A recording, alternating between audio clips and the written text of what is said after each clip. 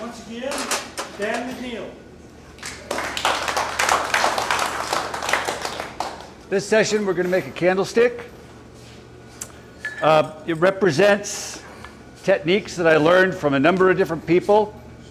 Uh, Robb Gunter demonstrated a lot of hollow forming one year here at this conference and uh, did chili peppers and all kinds of things. Well, this candle cup and the tooling I use is what I learned from him. Uh,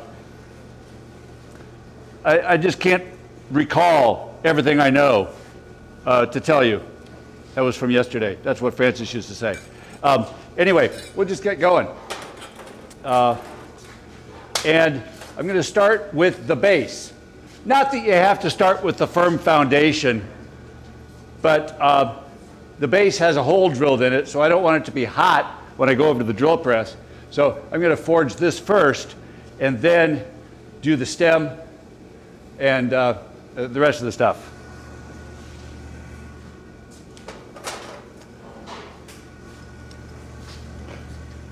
Quarter inch by three.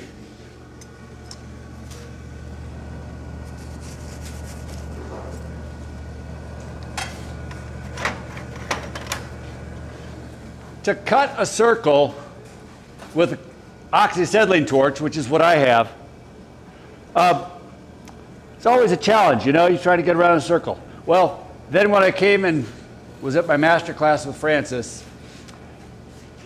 he showed me his cutting table, which was over there earlier, that you release the bolt and it spun around so smoothly it's like, why does it spin around?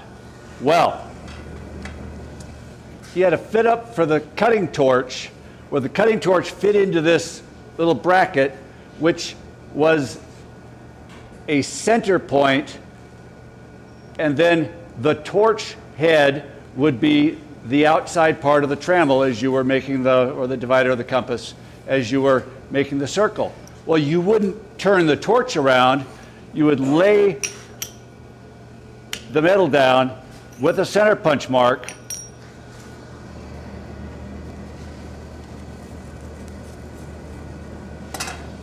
And spin the table as you were holding the torch. And you'd get perfect circles every time. And if you do it at the right speed, and you've got the right torch settings, you get very little slag buildup whatsoever. Uh, these are ground a little bit more yeah, this is a similar setup.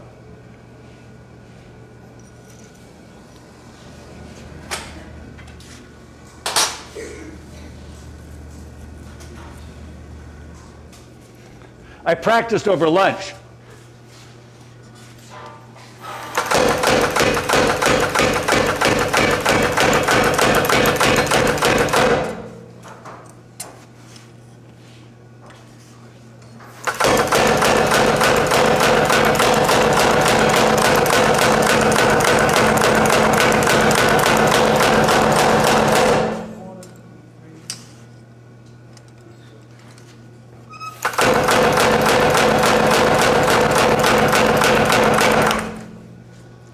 No switch to turn it off.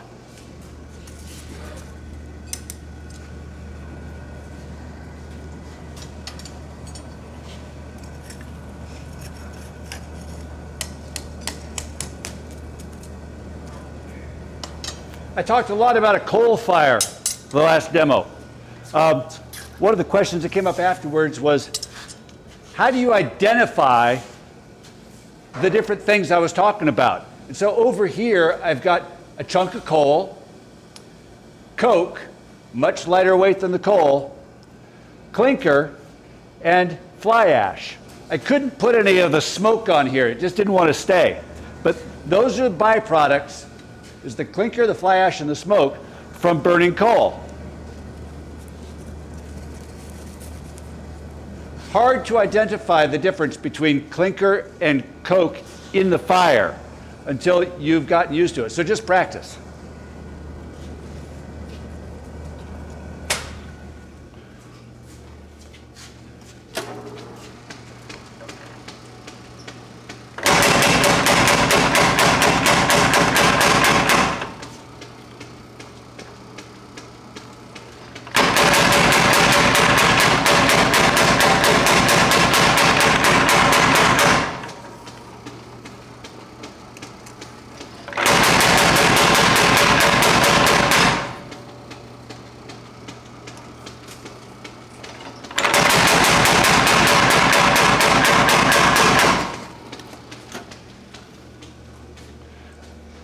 Some people like to use every pot in the kitchen. I like to use every tool in the shop.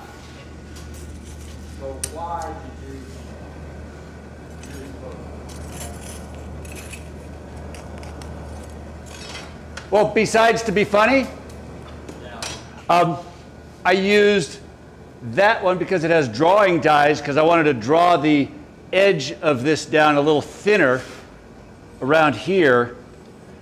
Um, and I felt I could do that a little smoother and better with the drawing dies.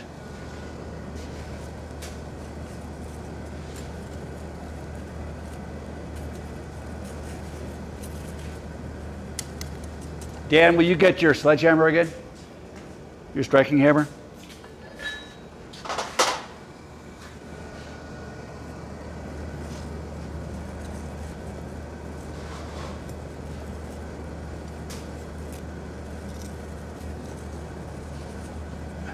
Do now what will be harder to do later.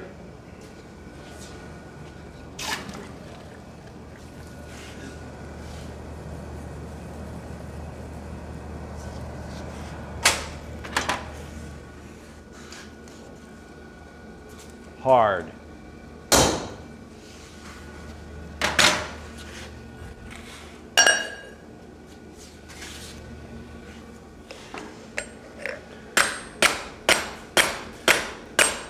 There's these cut-off bells over there in the driveway that I brought. They're for sale. They're really good for uh, sinking into. Different sizes. The bigger ones don't jump around as much.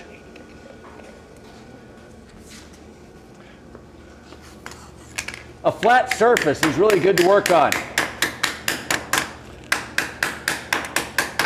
Okay, I can't do this on the floor of my wood, uh, uh, floor of my dirt shop. But my big steel table is closer to my anvil. Come on, come on, come on, come on. There you go. So, there we go.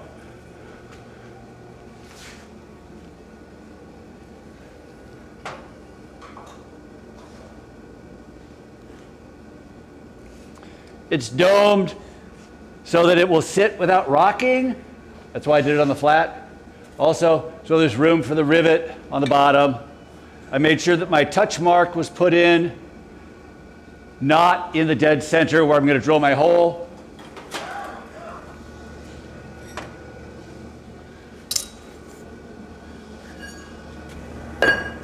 Something's burning in there, man. It's the sweet aroma of roasting chilies. I, I have a chili roaster in my shop, and the falling off of the chili roasting gets uh, on the table. And if I don't clear off the table, then when I put a piece of hot iron on it, it fills the shop again with this wonderful aroma of roasting chilies. But so it's not a distraction, I'll put this down on the floor. It's an instant. It's the sweet aroma. So, because we're doing this power hammer stuff, we'll now do the candle cup. No, not the candle cup, the this part right here. I'll pass this around just because I can.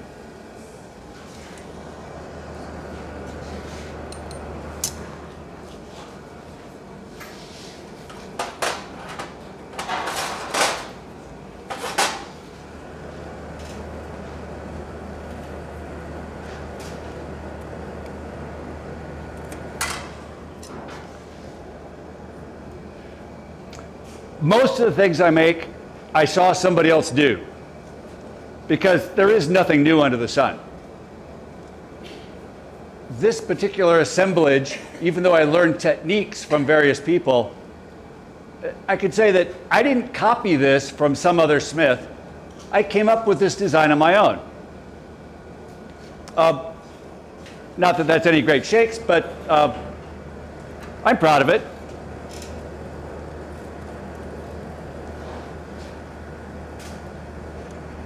And it's something that you can't get somewhere else.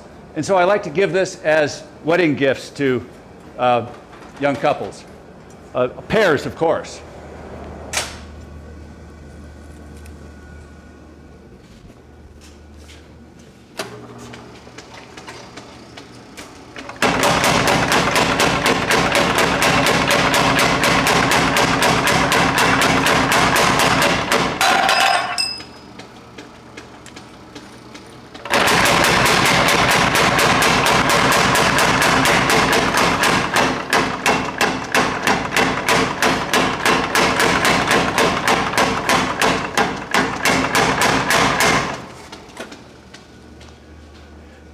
Francis used to have a switch over here to turn on his power hammer. So that by the time he got to the power hammer, it was already going. I can understand why in a school you wouldn't want to do that.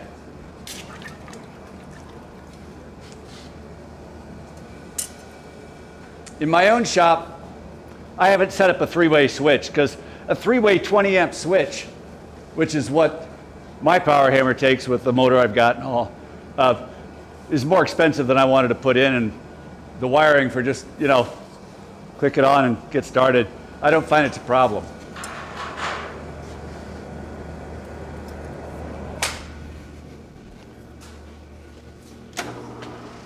Notice my posture.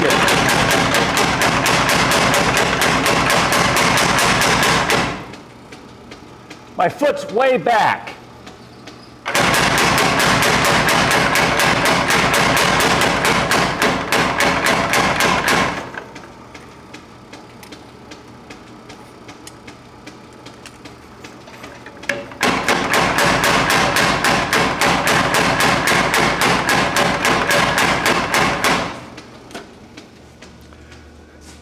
Always want to have really stable position with your body when you're doing something, especially with a piece of machinery. If I was standing with my toes touching, my heels together, like I'm in chair position or something, you know, it's that's a yoga thing. Uh, it wouldn't be very stable. It's much better to be, you know, warrior pose.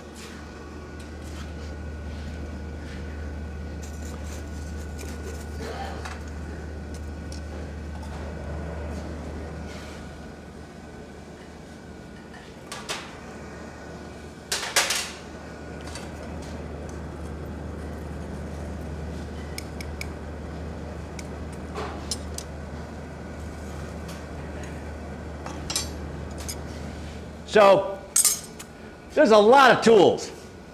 Sometimes you can have too many tools. We heard Steve talking about how he only took some of his tongs down to his new shop and he hardly ever went back to get more of them. But sometimes I feel like you can make the mistake of the shopsmith, which is supposed to be the one piece of equipment that does everything, and it doesn't do anything very well.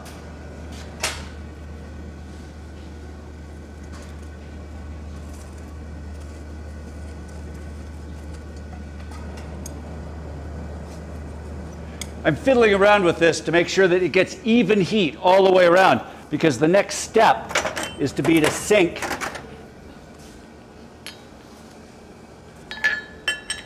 Show that to the camera.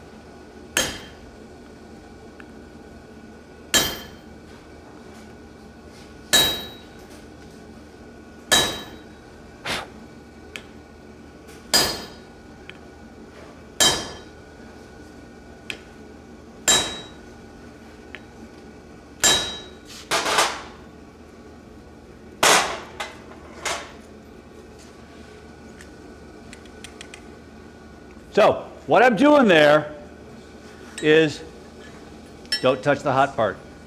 Uh, I've got this little tool down at the bottom that I'm sinking into. I had to make this for this demo because the piece that I normally use is an 85 pound block of steel with a hole in the middle of it, but I didn't want to take that with me. Uh, and I'm sinking this piece into it with a blunt round nosed punch. Mild steel. Mild steel, mild steel, mild steel.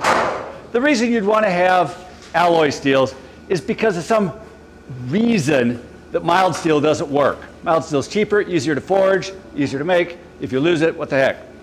Uh, but on a sharp edge, point your camera over there on that board. On a sharp edge, the sharp edge can fold and deform when it gets hot, and the thinner section gets hot faster when it engages the hot metal. So a slitting chisel needs to be of a, of a material that won't deform when it gets in contact with the hot metal. We talked, heard a lot this weekend about H13. Great hot cutting material, hot working material for that kind of a chisel. The hot cut Hardy is shaped more like this. And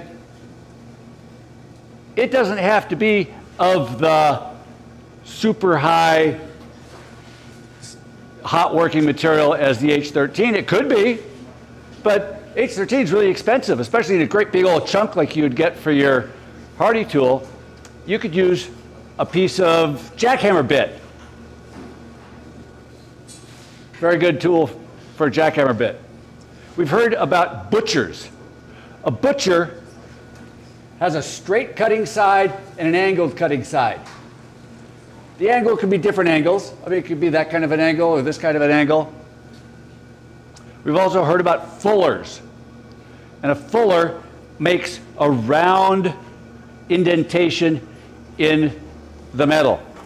This is the fuller end of the, a fuller peen or a round peen or a straight peen, you know, whatever you want to call it. It's, it's a round, it's doing the job of a fuller. A fuller usually isn't on a hammer, it's something that you pound into. Don't hammer a hammer face, but uh, you're making the round part go into the metal. Later, I'm going to use a swage, but since I'm over here, I'll talk about this, which is when I want to make a tenon, which will be a round bolt sticking out of the end of my piece, I will use something that's shaped like this, kind of like lips, you know, pursed lips. Uh, that's the shape that's in my dies that I'm going to use uh, when I do the tenon. Yesterday we saw Gordo using a tool in the treadle hammer uh, that basically did the same thing. Uh, mine are shaped just a little bit differently, and I'll use them pretty much the same way Gordo did.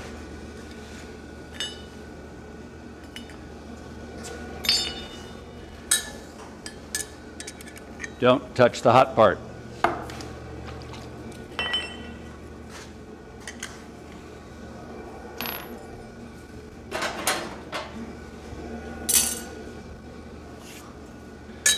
So I'm starting out with a piece of 3 8 inch square, 17 inches long.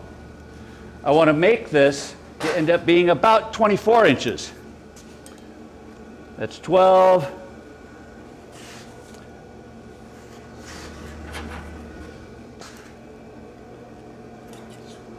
That's about 24. It might end up being 23, but I'm going to make it about that long in two different processes.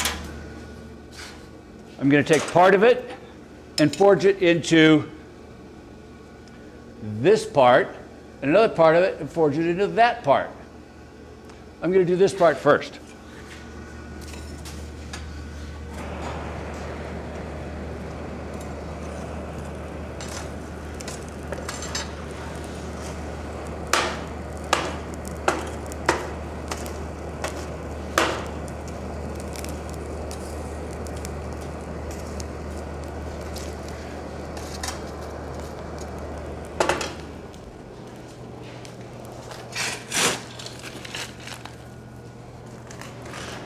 If you get coal that's great big chunks of coal, knock them down so they're smaller, like this, where you've got some, like, you know, little chunkies, but pea size, and the fines are really good. The fines and the water you put on it all helps it kind of clump together to form the coke.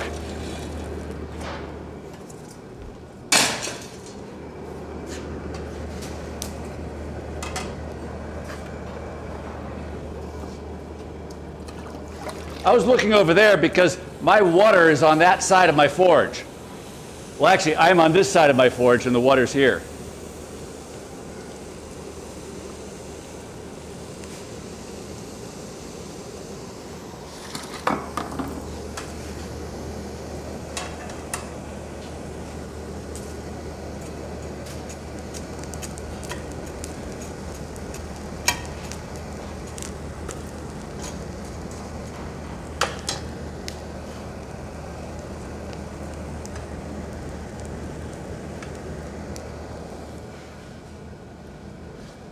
My goal is to forge this from this point.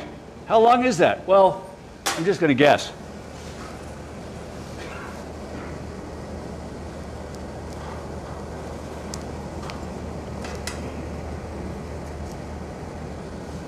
Because I don't really know, but it's organic. It doesn't really matter.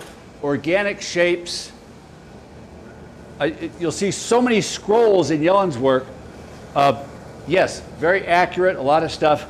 But if you look at the scroll work within a grill, oftentimes you'll see that the scrolls are all a little bit weird and wonky because scroll work you can expand and contract so that they meet at the right place, but the scroll itself gives you a lot of adjustment.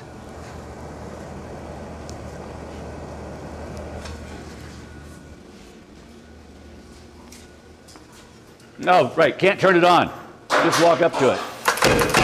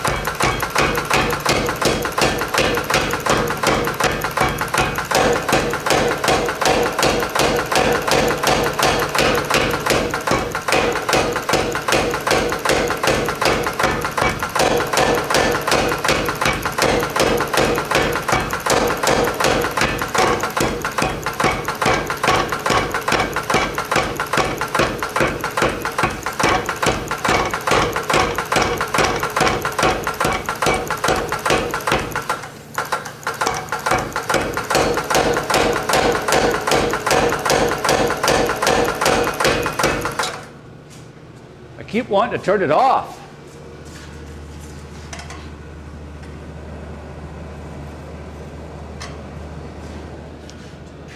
Very nice, smooth taper is what I got there, but I wasn't able to get it down quite pointy enough here for what I wanted, so that's what I'm going to do next.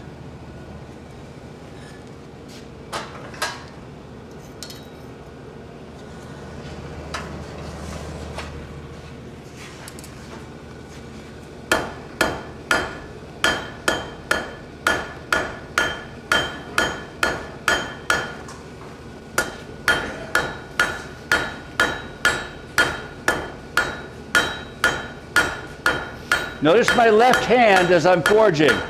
It's working just as much as my right hand. It's positioning.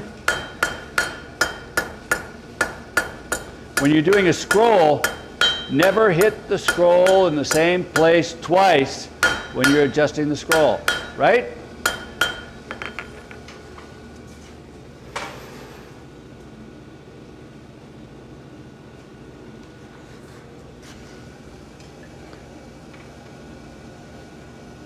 Pretty close to length right now. This will be a little bit longer than normal. Is that 24?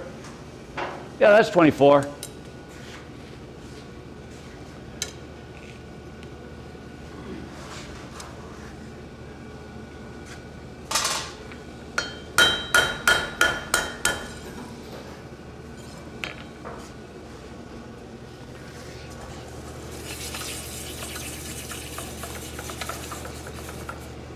I said before, I don't quench unnecessarily. However, it was necessary this time so that I could hold on to it.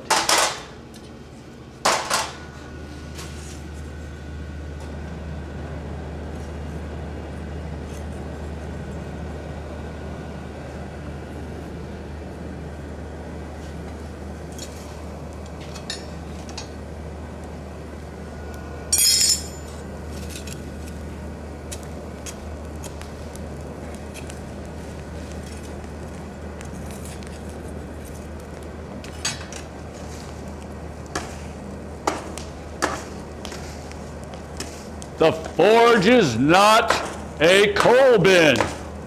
So I don't have to have a mountain of coal here all around falling off on the floor. I can have a mound here, and as I push in the green coal, it forms coke. And I'm working with it in the center of the forge.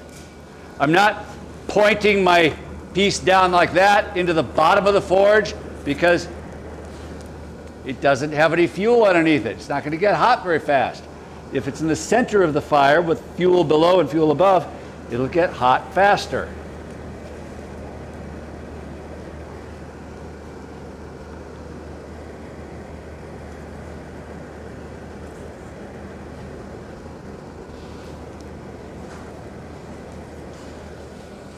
Next thing I'm doing, I want about nine inches.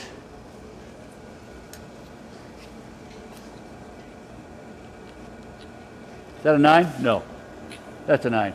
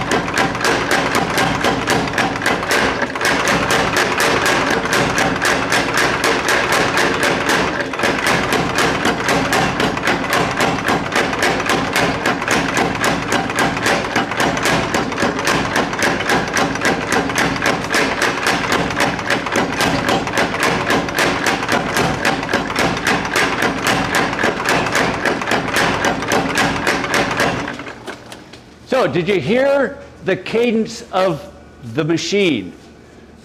It wasn't an even striking each time.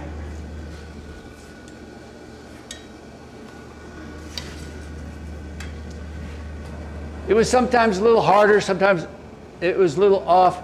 Uh, you get used to each machine the more you use it. And I mean, that wasn't me making it do that. It's just how the machine is. But you get used to your machinery, and sometimes your machinery, your tooling, really helps determine certain characters of your work. Of course, somebody who's using a great big hammer could be making huge old hunking you know, metal do things that you can't possibly do with just hand hammers. My work is human scaled. It's whatever I can lift. You know, so it goes down from small stuff to something that's, you know, doors that I can lift and carry around in the backyard, uh, sculpture that, you know, I can not knock my, not, not my back out. I, I don't want to wreck my back trying to lift it, but uh, I don't do stuff that's, you know, 80 feet high and 1,000 feet long. But I'll attempt stuff that I can carry around. I don't have a forklift. Sometimes wish I'd have cement floor and a forklift, but then who doesn't want 15,000 square feet and a whole lot of equipment?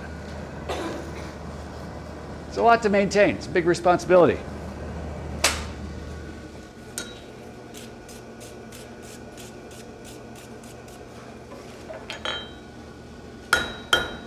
So here I'm just smoothing out some of what the power hammer was doing for me. And even though it's organic and, you know, it can be a little irregular, I mean, this is not a machined product. This is a handmade forged product. I want it to be sort of smoother than what the big power hammer was giving me just now.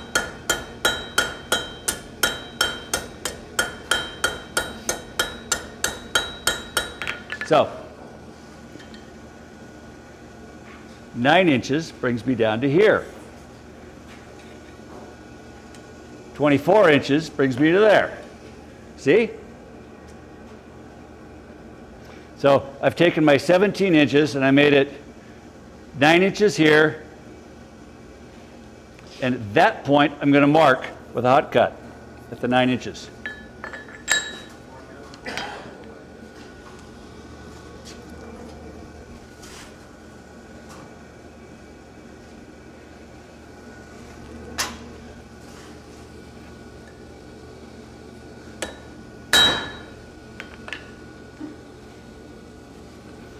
Going to use that mark later, but I wanted it there now. Now I'm going to upset and put a tenon on that end.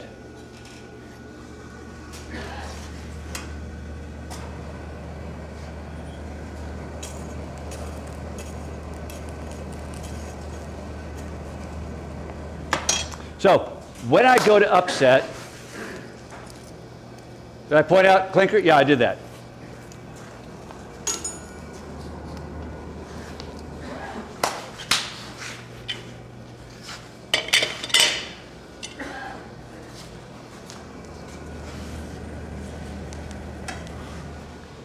When I go to do a tenon here, I'm going to upset first on the end so this gets a little bit thicker. So right there is a little bit thicker. Upsetting, hammering that way, making it short and fat.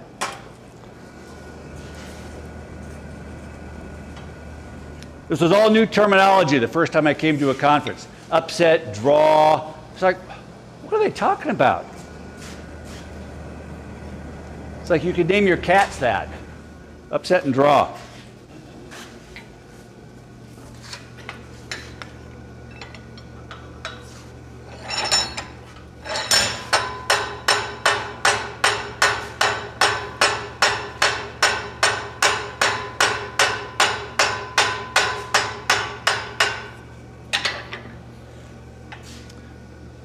Some people you'll see upset here.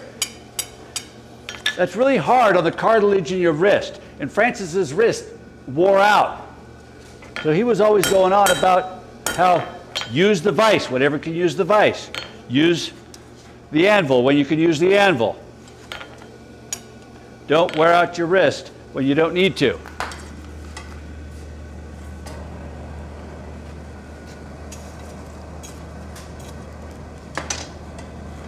Now I will use butcher dies.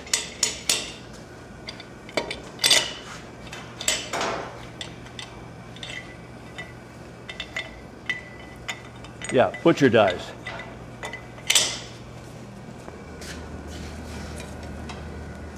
I usually use these in a treadle hammer at home, but I think it's going to be easier for the camera to see what I'm doing if I'm doing it here.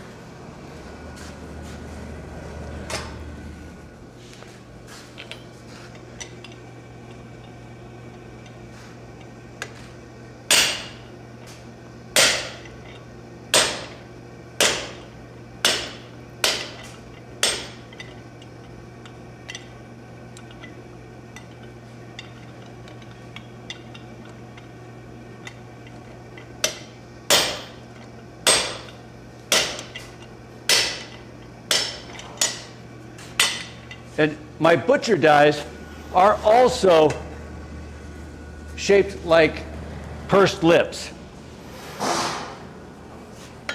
with a little bit of curve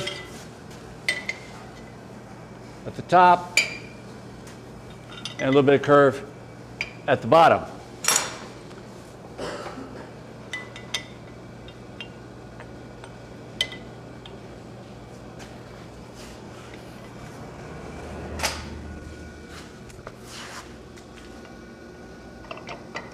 going on here.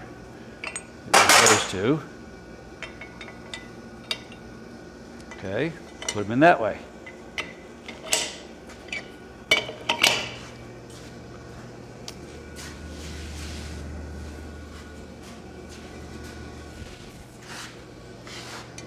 So, can you see that?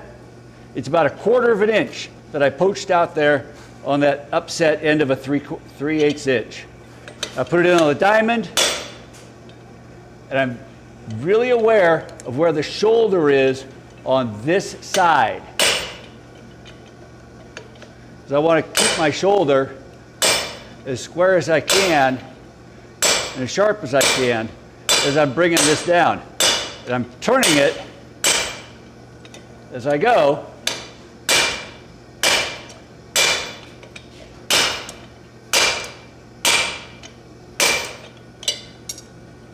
And it has stretched out that far. So now it's about a half an inch. But it's not quite there. What size tenon is it? A quarter inch? It's a quarter inch tenon.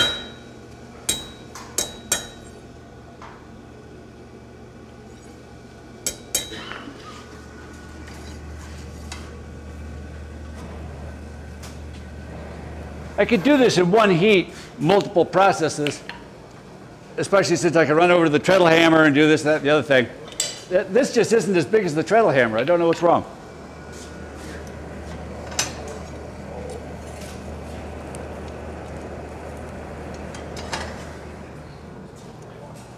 This is a monkey tool.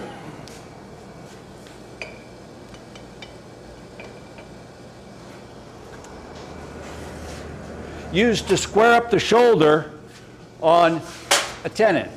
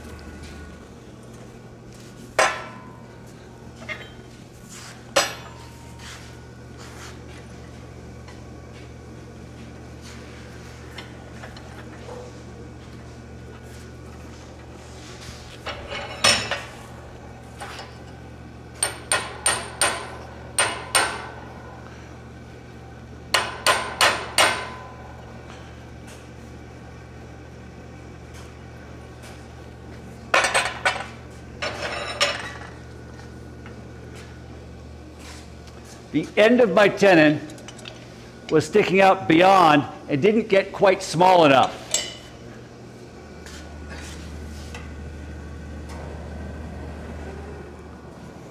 So I'm going to reswage just the end of the tenon so that I can come over and use the monkey tool on it because the monkey tool, even though it has a, little bit oversized quarter inch hole and radiused edges on the inside, so it's not a super sharp edge, but it's still pretty square.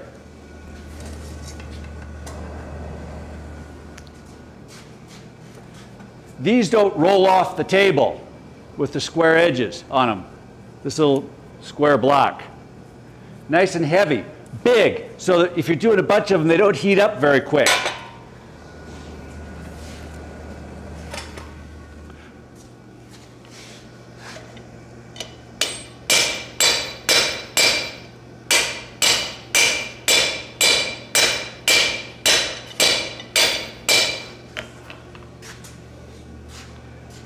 Soft jaws of aluminum in the vise so the vise jaws don't affect my work. I turn the monkey tool as I'm using it, as I'm upsetting that edge a little bit, getting it kind of square in there, square shoulders. I find it's easier to look at it when I'm down like this rather than pounding like this. I can see my work better. I'm using the smaller hammer because I don't need to move a large mass.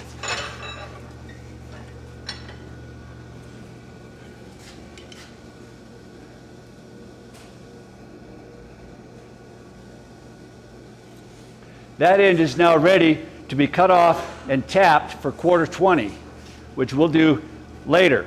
Now we're going to take here where I made my mark, heat it up, bend it, forge weld it into this part, upset, and put a tenon on that to go into the base.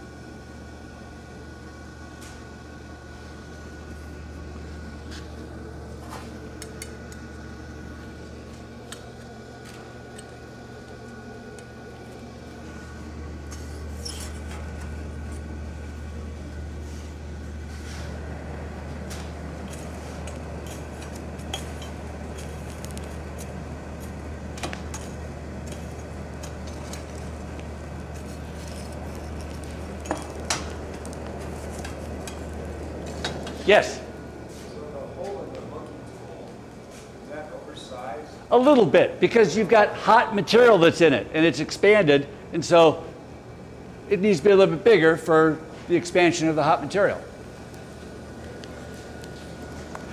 Dan, Dan, Nibbling, how much bigger is a hole for a piece of hot metal to go in of a certain dimension? What's the coefficient of expansion? Six times, ten to the minus five inches per inch. Yeah. I knew you'd have the answer.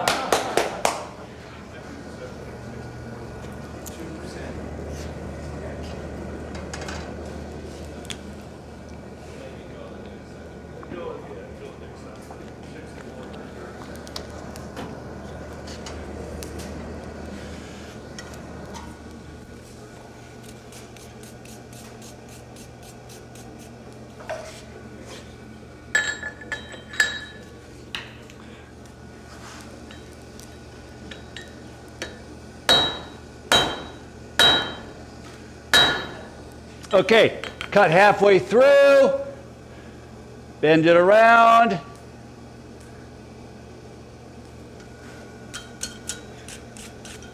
Brush off scale.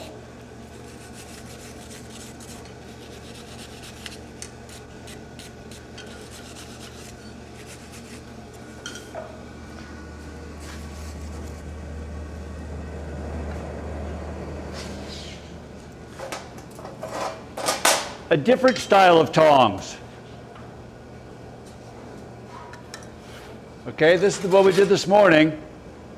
Whole different style for a different purpose.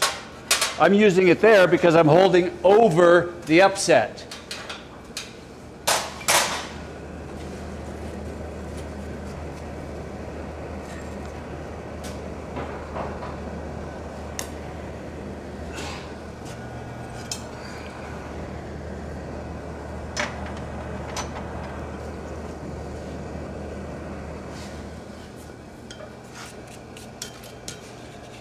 Wire brush the scale.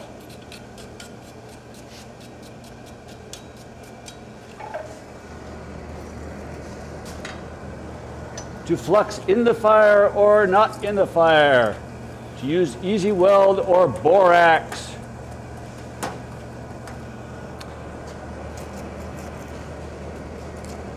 How about if I flux near the fire with borax?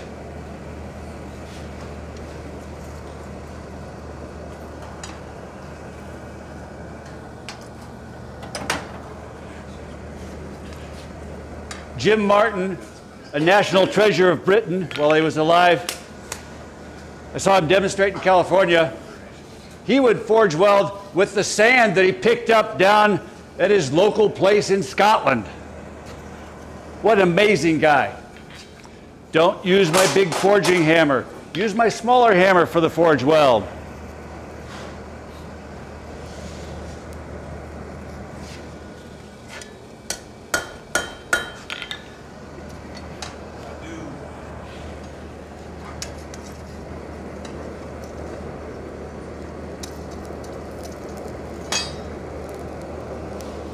Get the heat farther up than where your weld is. So if your weld's going to be here, make sure your heat is farther up.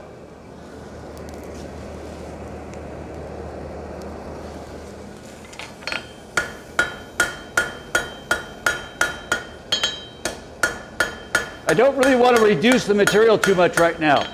I want it to stick together.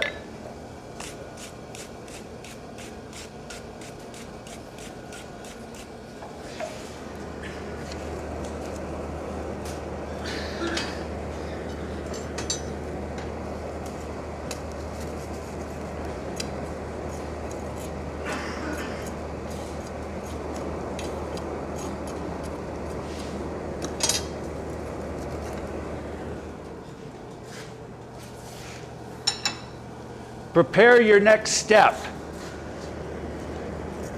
Don't get there and then fix it. Adjust it before you need it.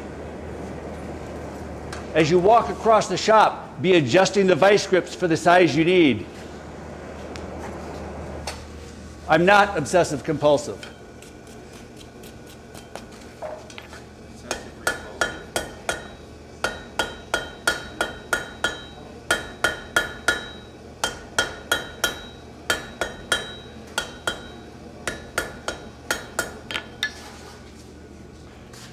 Now I'm going to upset this a little bit.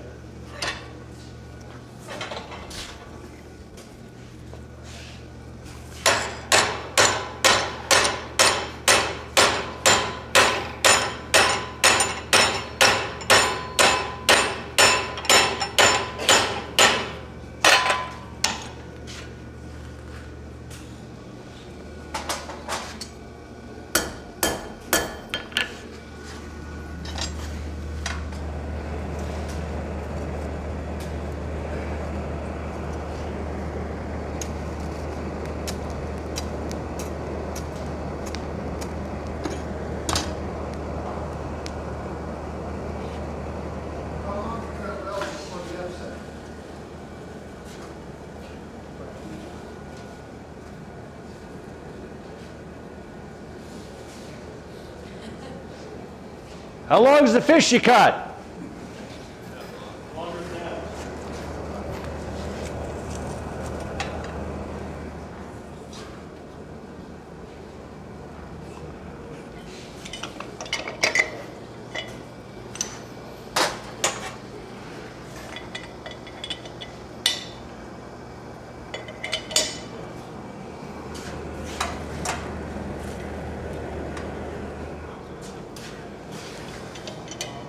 The treadle hammer I use for this is a swing arm like that one.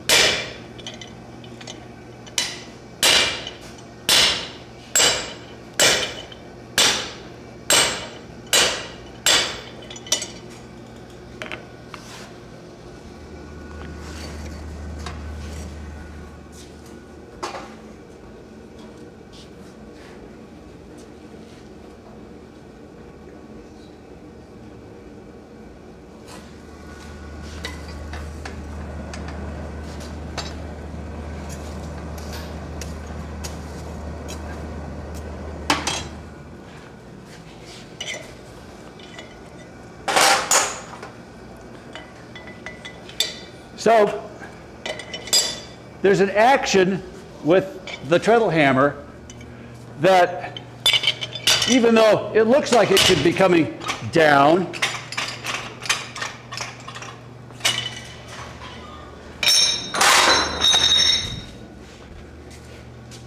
you can tell I didn't rehearse this part beforehand.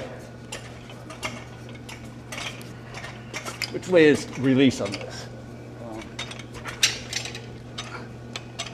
There we go. Pull it this way. Really hard. Uh, yeah, right. Yeah. It'll do it. And then it goes up. I want it to go up.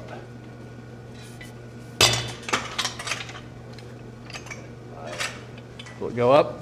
Yeah, maybe.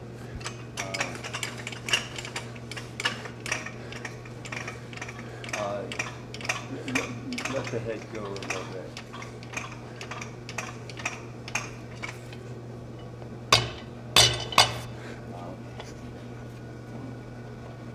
Okay, it'll just have to do for where it is. Pull, pull that over back that way. Pull this over back that way.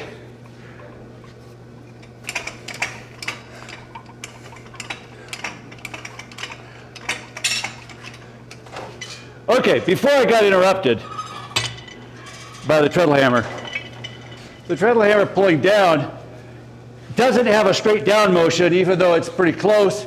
It has a pulling back motion as well, which has deformed my blacksmith's helper.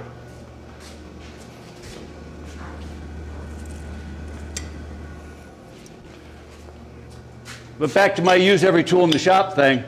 Um,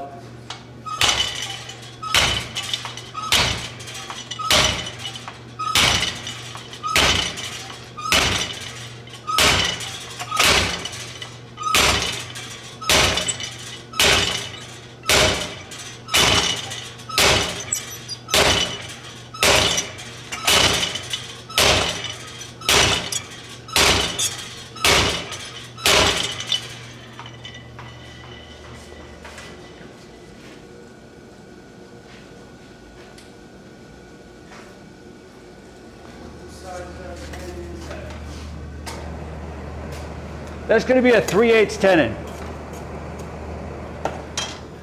3 8 tenon. I have my dies marked. Even though I can measure them, I can see where they're stamped. You get nice, just, you get really good imprints with the punches when you do the metal hot and it sinks in there.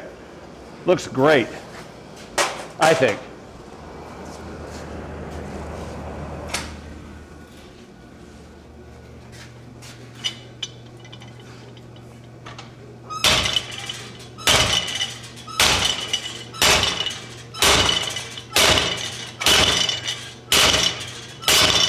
Okay, you can hear it start to hit bottom there.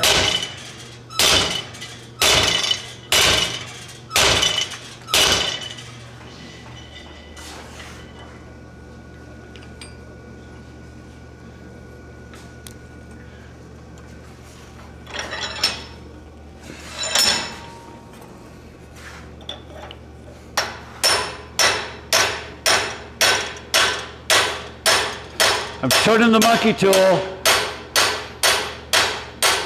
I'm not using my huge hammer. I just want to upset a little bit of mass there. When your kids come into your shop, you know, everybody's going to have little kids come in the shop. Don't let them play with this and get their finger pinched in there.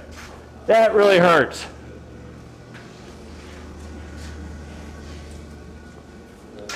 Don't pick it up.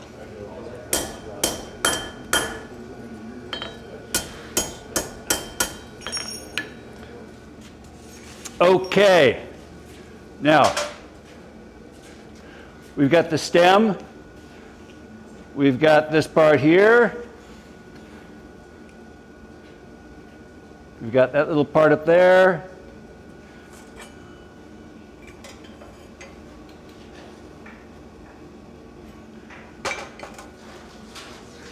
Think what I'll do next is I'll curl this around, which means I want to hold on to it down there.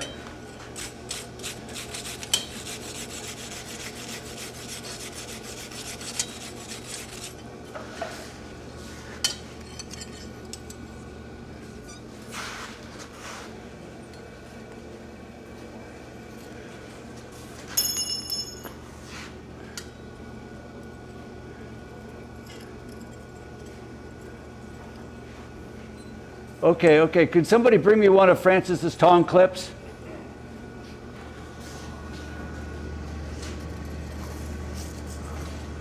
Is there a smaller version of this? I haven't seen it. Gordo, you haven't seen a smaller version? Here's one. Oh, great.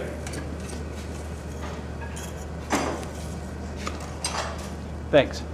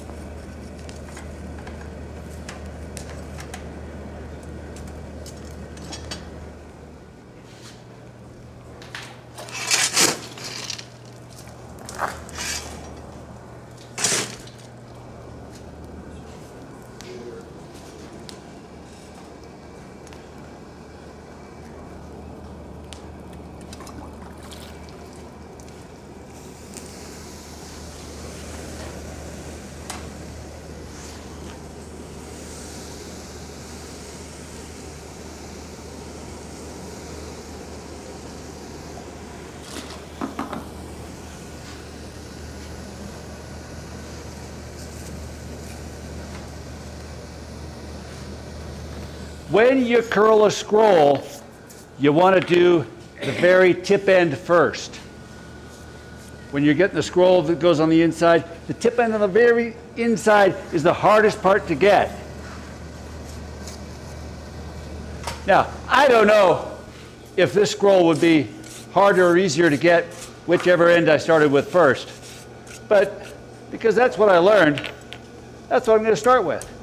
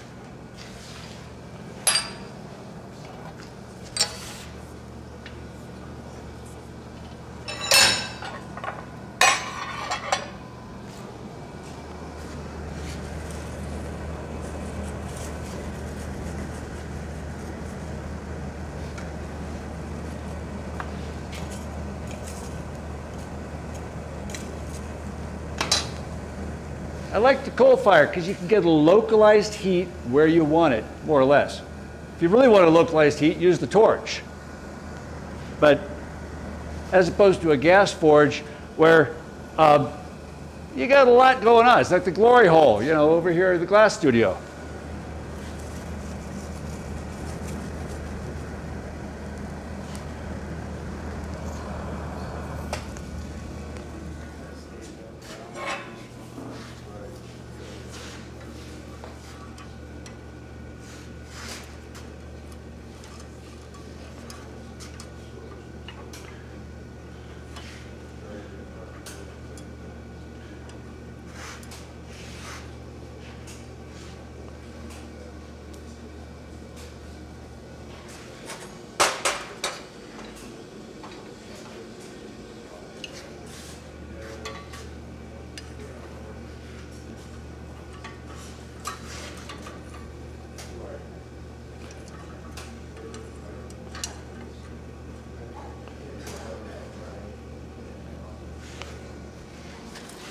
What I'm looking for here is the height of the handles.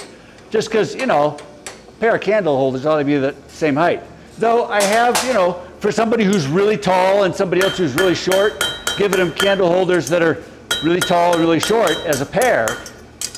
Um, that's not generally what I do. I mean, I don't do anything generally, actually. Uh, being in the theater for so long, I'm really used to doing things one thing at a time. One, like, like never any production run. Anything we would do is art and prototype. And by the time I did it the second time, I was on to like, okay, let's do something else. And always improving it. So I was never good at running shows, but I was the guy who was kind of figuring out how to invent whatever we did next.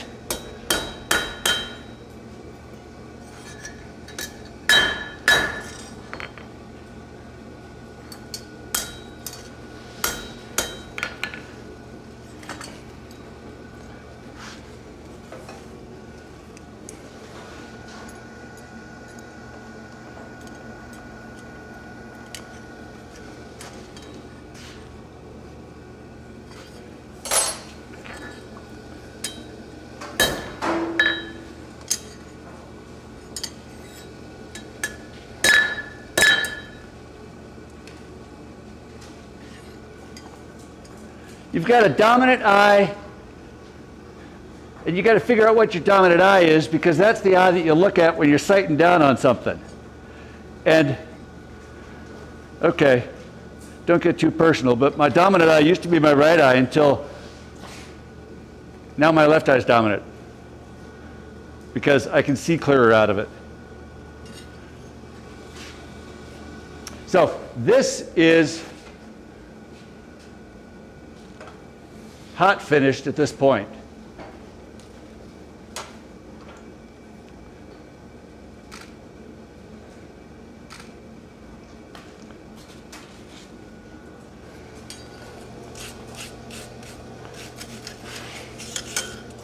Because it's hot, and I want to put a finish on it, I'm going to melt beeswax into it. Now this beeswax is kind of white. I don't know why. Maybe it came from an art store and it was clarified, and uh, most beeswax is yellow. Does it smell like beeswax? Yeah. I think it smells more like beeswax than paraffin. The beeswax will melt in. It'll burn off. I'll wipe it off with a rag in a minute. Don't get beeswax all over the floor of your shop. Oh, or on your anvil. Um, I usually do this over a uh, cardboard box, and I stay upwind of it because no matter what the smoke, you don't want to inhale it. Went to the hospital. Uh, I asked the nurse, uh, you know, about prescription medical marijuana. And she said, inhaling anything is bad for you. Of course, I was joking.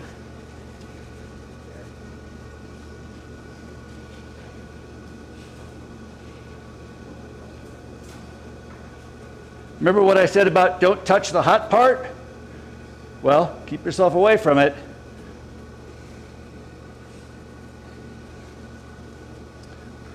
Okay. So that's the hot part right there. Next steps are to drill this piece over here. Hmm? Yeah, chili pepper pizza right here. Yes. So, I have a hole there, and I have a hole here. They already have center punches in them. That's because I use the center punch when cutting it out with a torch.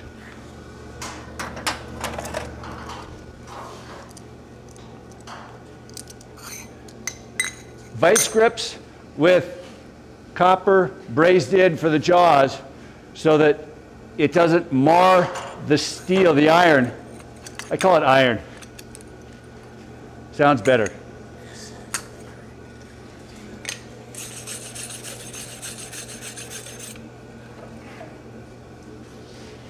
Well, I used to have a center punch mark in there. When you're grabbing something with a copper tool, be careful you're not gonna patina it later because the copper will show up. Does the copper show up when you patina it later? Yes, patina a different color coat. Ah, that could be to your advantage. Yeah. When you center punch for something that's hot in the forge, I like to center punch when I center punch for something hot in the forge. I like to do it with a diamond shape, a, a pyramid shaped center punch because the pyramid shows up better in the forge, in the hot. Okay, can you get this over here, the camera? This is a high-tech drilling operation. This is a drill press. I'm drilling with larger than a 3 8 inch.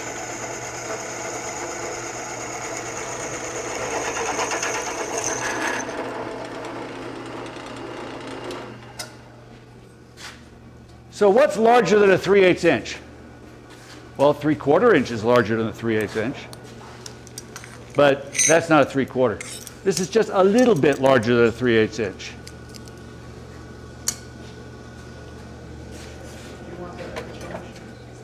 I'll get it.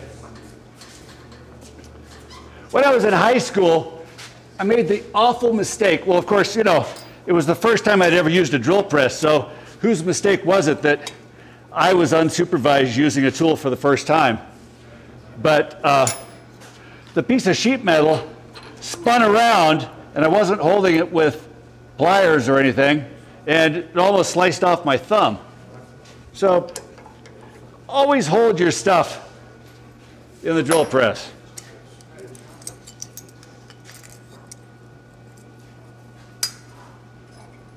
In fact, it's always a good idea to have your stuff secure, whatever you're doing to it.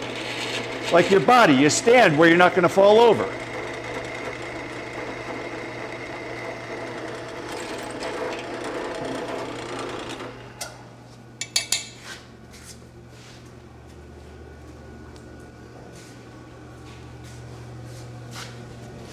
I think my drill bit is a 64th, possibly a 32nd oversized from the uh, 3 8 that's there.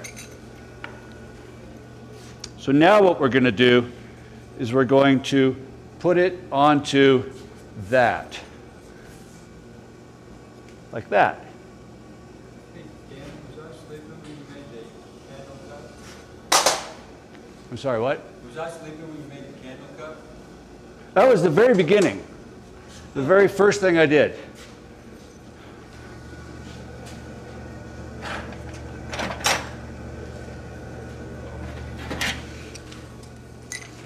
Actually, I did that just two minutes ago, and you must have just, you know.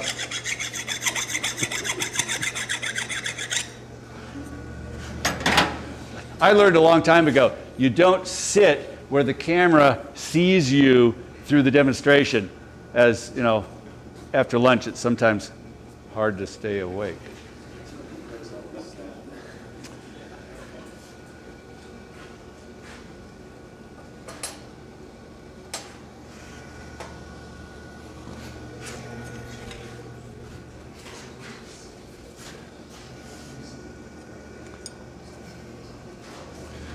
I know, I already put a finish on it, and I'm putting it back in the fire, but I just have to heat up the end where that tenon is.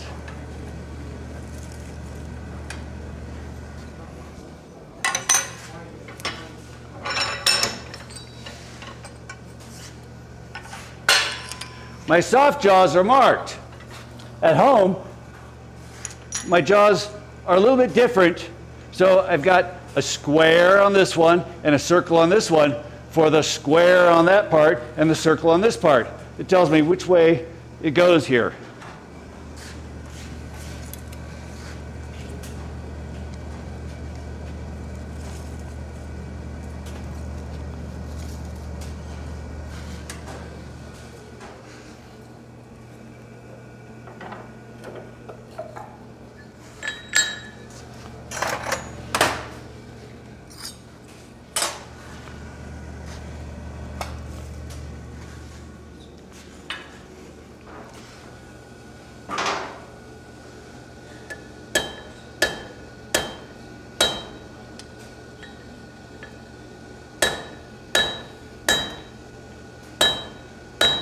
Giving it some good downward force with my left hand so that it doesn't jump out like that. When I'm striking it.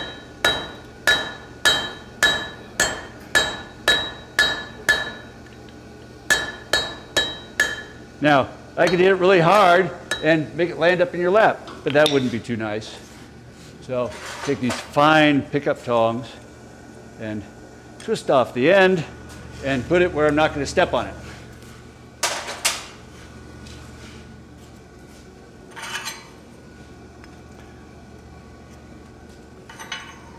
So how long is that?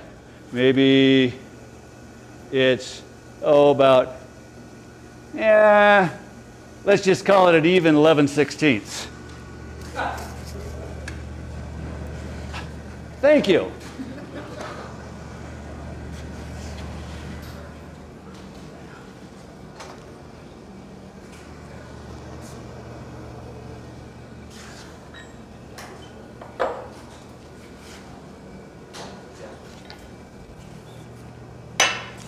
I was going to do an object lesson with all oil. I might do it later.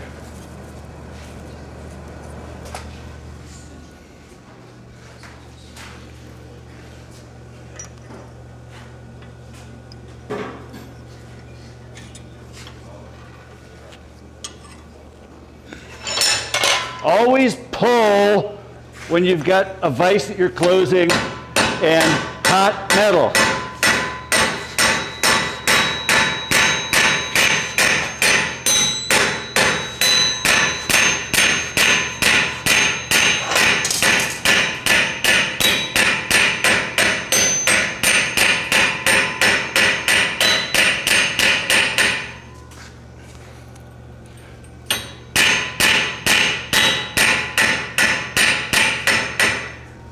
Didn't think I'd be doing anything loud.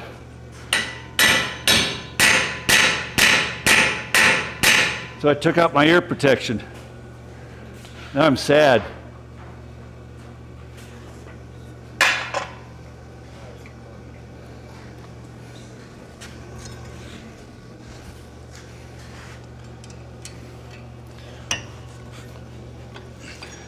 If you're pushing and you have hot metal in there, if you slip, your face goes into the hot metal. That's why you pull to tighten the vise when you've got hot metal.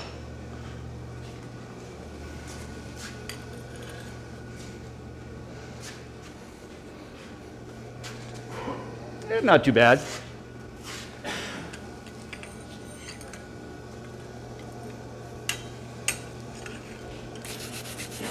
How am I doing for time? And we're over at three? We're over at 245. And it's 240, so I have five minutes? Woo! We'll do the tapping afterwards.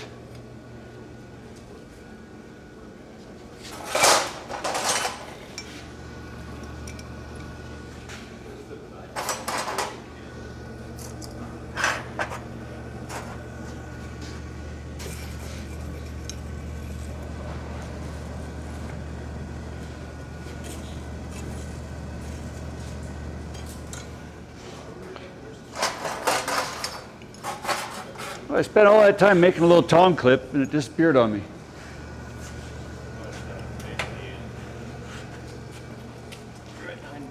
Yes, that's the one I'm looking for. Thanks.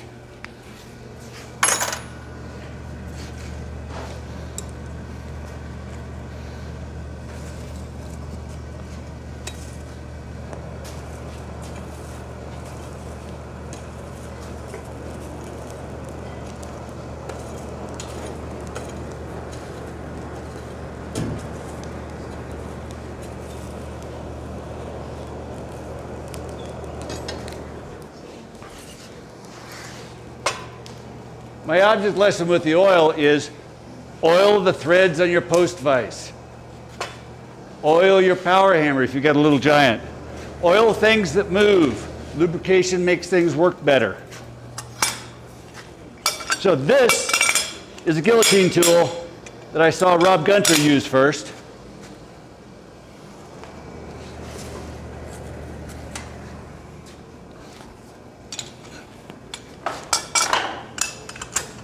Nope, won't fit in there.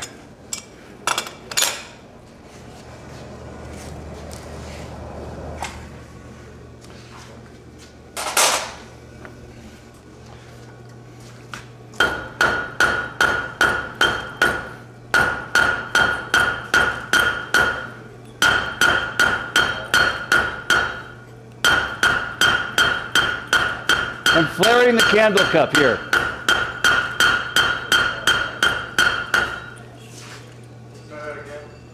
I'm flaring the candle cup.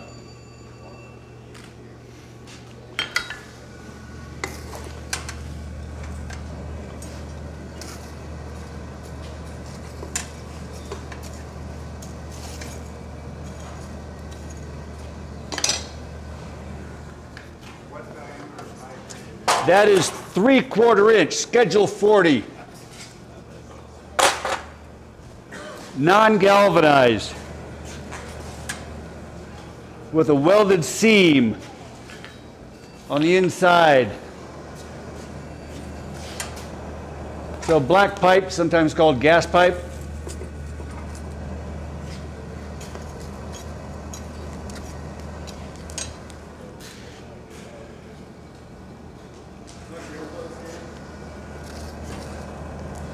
Pardon me? Earplugs? Earplugs, well, sure.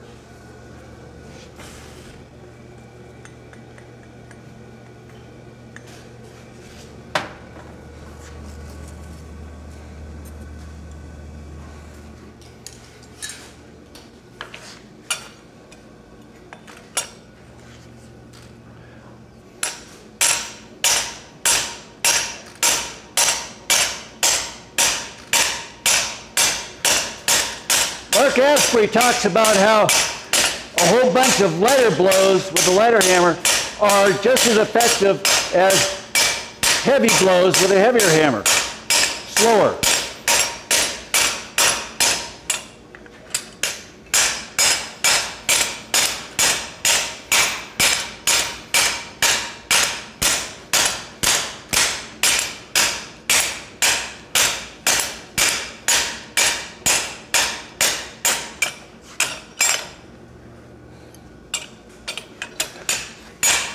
Now, I want the hole on the inside of this to get to be a number seven. Because I'm going to tap it with a quarter 20. I think I got it down to like a number 13. But it'll be okay.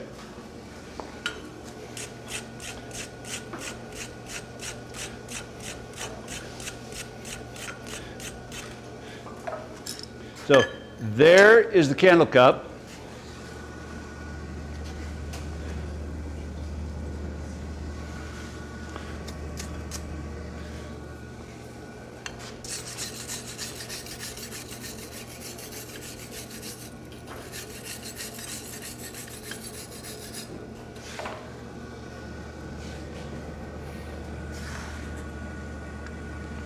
Too hot. There is, oh! Gravity. It's your best friend, it's your worst enemy. There we go. So when this cools down just a little bit, I'll put some more wax on it, then wipe it down. Um, when this cools down, I'll cut it with a hacksaw, drill it, tap it for quarter 20. I'll put quarter 20 threads on here. I'll put quarter 20 threads in the wavy cuppy part, which I thought was down here. Maybe I took it over there. Ah, here it is. I'll put quarter 20 in here. I'll thread this down onto there. I'll screw that down onto there. I'll cut this for length so that it's sticking up in there just a little bit. And we'll have the finished. It's my tables, they went away. Who put them away? I'll have one that matches that. So, there you have it.